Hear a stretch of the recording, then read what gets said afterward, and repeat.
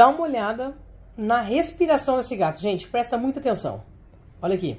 Tá vendo que ele tem uma respiração muito mais dificultosa? E a respiração dele, ó, ela não está torácica, ela tá abdominal. Sabe o que é isso daqui? Trouxe aqui no cartaz para ficar mais fácil para vocês, ó. Aqui tem um gato.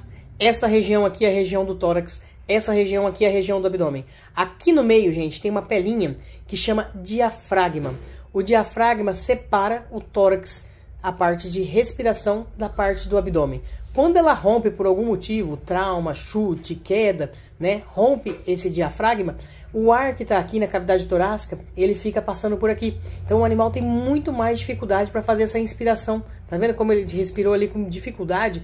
Então, e muitas vezes, gente, o intestino vai parar aqui dentro do tórax. Então é um caso de urgência, tem que levar no veterinário e muitas vezes é cirúrgico, tá? A gente tem que suturar o diafragma.